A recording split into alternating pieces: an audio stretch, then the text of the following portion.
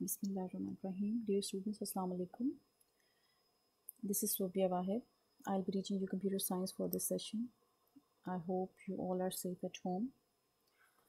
Uh, first, let's have a look at the syllabus breakup. During the first round, we are going to cover first two chapters. The first one is network communication and the second one is computer security threats. During the second term, we will be covering chapter number 3 and 4. Third chapter is totally practical based. It's spreadsheets in Excel and chapter number 4 is problem solving. And during third term, we are just left with one unit that is computer programming. Now first think what this subject computer science is all about. This is basically the study of computer, its working and its applications.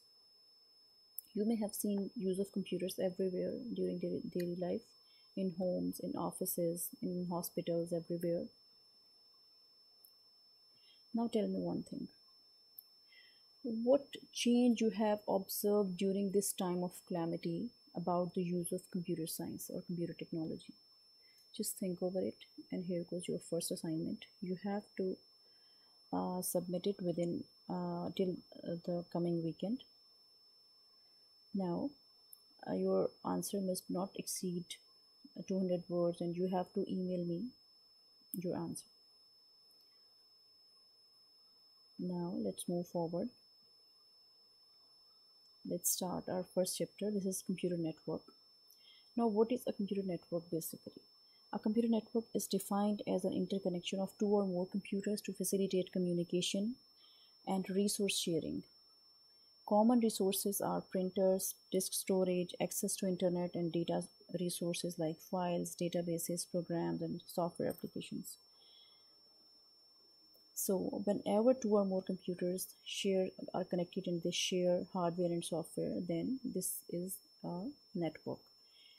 Now, right now, I have uploaded my lecture and you are downloading, you have downloaded this lecture from the internet through uh, the internet. And this is a, also an example of computer network. Basically internet is also a network network of small networks and it is it is it covers whole world. Let's take another example of computer network. You may have seen network of network of computers in banks network of computers in hospitals everywhere. Whenever you go to the doctor you just tell him your MR number. Doctor enters your MR number while sitting in his office and a complete history of the patient comes in front of the doctor. That is possible because his computer is connected to other computers which have a central record, central database of patients. So this is an example of sharing data or software resource. Now let's take an example of sharing hardware resource. Uh, for example, there in uh, an office there are 20 computers, uh, 20 people on a single floor sitting and they are using their own computers. Now they don't have all of them don't have printers on their tables. Normally they have just one printer. They share that printer through the internet, through the sorry through the network. This is another example of sharing hardware resource. Now, keeping this in, in mind, let's see what are the advantages of computer network. The first one is the computers connected on a network share hardware resources. Again, the same thing like printers, CD writer, CD or DVD players and hard disk, etc. Here, I have told you the example of sharing printer. Now, we can take some other example as well. Uh, for example in a hospital uh, the record of patients is saved on a central computer and a doctor is accessing that record from that computer. So again what he is doing in in this type of in this form of network the hard disk or storage space of central computer is being shared with other computers over the network. Now, the second advantage is through network one computer can share software from other computers. I have given you example of sharing software. Next maintain security and permissions over the network. Maintaining security is very important and this is possible. This can this could be done very efficiently over the uh, network. For example if your mother or your father is accessing a, uh, a banking app using a mobile phone or laptop when they enter the password then they access their, their account only. They can't access anyone else's account. So the security is maintained over the network. Now permissions over the network. How what is the meaning of permission over the network this is uh, when let's take another example uh, let's take the same example of the doctor. Whenever you go to the doctor in a hospital he enters your mr number and he is allowed just he is allowed to access your information from his computer. None of the other employees is allowed to view patient's history. So the permissions are given to privileged people next point is coming manage privilege and rights of the users so permissions security and privileges are assigned over the network according to the requirement कि कौन सा person कौन सा data access कर सकता है कौन सा पर्सन वही पर्टिकुलर डेटा एक्सेस नहीं कर सकता लाइक like, एक कंपनी का मैनेजिंग uh, डायरेक्टर या CEO is able to view whole data of whole organisation but अलग अलग डिपार्टमेंट्स के मैनेजर्स जस्ट अपने डिपार्टमेंट का डेटा व्यू कर सकते हैं। So privilege rights are given to the C E next point is a user can easily share files data and can access other computers this is exactly the same what we are doing right now I uploaded this lecture this file and you are you have shared this file. You are um, using this file. You are uh, listening the lecture. This is sharing of files over the network. Let's move forward. Now what are the computer uh, what are the components of a network? There are four basic components of a network sender, receiver, communication device, and transmission medium. Now, what is a sender? A sender is a device which is used to transmit the data over the network. Sender may be a computer system, a laptop, or a mobile phone. I am using my laptop to upload this lecture, and you now next you may be using any uh, uh, gadget, laptop, or mobile phone to download this file and to listen the lecture. So your device is a receiver and mine device is a sender. So what is the definition of receiver? A receiver is a device which accepts the data or information transmitted by the sender over the network. A printer, a fax machine, a computer are examples of a receiver. Next, Another thing is required for communication over the internet.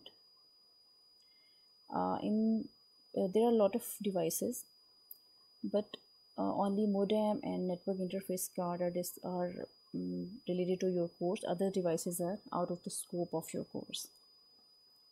Now first see what is a modem. Modem is the combination of uh, two words mod and dam mod means modulation dam is demodulation when i have told you i have taught you in um, grade 7 that all the data when it is, it is present in a computer system it is in digitized form that is in the form of 0 and 1 so when you have to communicate you have to send your data to other system through a medium then this digital data has to be converted into analog data in the form of waves. So, which device works for you to convert the data? Modem. It does modulation to convert digital data to analog and when the data reaches to the receiving computer, again through modem, it is converted from uh, analog to digital. Second device a communication device which is necessary on local area networks or you, while you are connecting to the your system to the internet is network interface card which allows you to communicate over the network. Next when you have to send your data then there must be a medium for transferring data from one uh, device to another. So data is transferred using a cable that would be a wired uh, network uh, sometimes uh, your data travels through air then it is a wireless network. So example of wireless network is your mobile communication mobile phone communication. When you uh, uh make a call through your mobile then your uh, what uh, the medium being used is air. So this is a wireless communication. So the medium is necessary also for the communication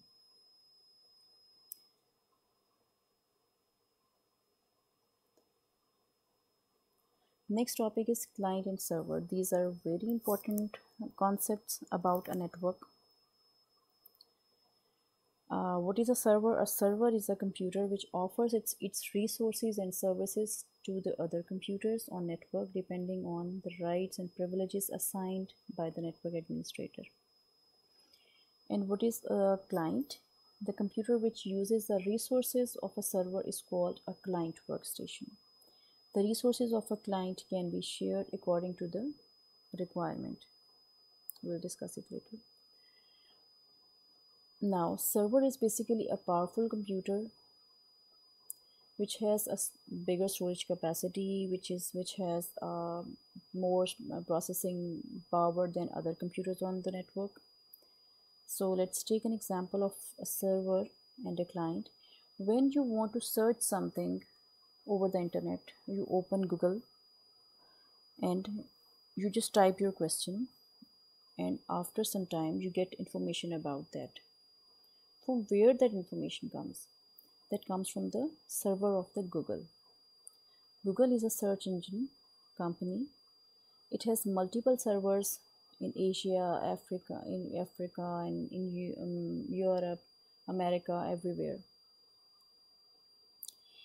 so the, all the information it has about millions of topics is saved on these servers. So these servers provide you services and you are a client when you are accessing information from your you are you are accessing information from server. That's how in a network a client and server work together. Now the client server system you have seen um, over the internet. I've, give, I've given you the example of internet. Now let's see uh, the example of how server manages resources on a small network. For example in an office there are 20 employees on a single floor. They all of them have computers and their computers are connected to each other. Now there is just one printer and they are sharing that printer now five employees have given command for printing. Whose print whose command is executed first? Now the where is the printer? Printer is connected to the server. Now server is that computer which is uh, which will decide whose command is first executed. Server will assign hardware resource means printer to any one of the clients first and then according to the priority other requests will also be served. That's how server works. Server uh, um, share is uh, server works for uh, sharing hardware resources and software resources over the network. Uh, all the clients can use the storage space of the server means they can uh, use softwares over the server file they can get files from the server and through server they can also access to uh, other hardwares like um, CD writers, DVD and printers. That's all for today. I will I will be waiting for your assignment inshallah in, the next lecture we'll cover the remaining part of the chapter